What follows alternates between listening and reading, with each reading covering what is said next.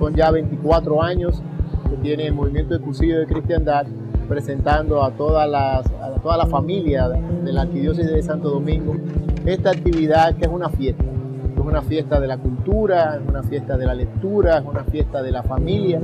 tratando de llevar ese mensaje que salva a la familia de una manera diferente,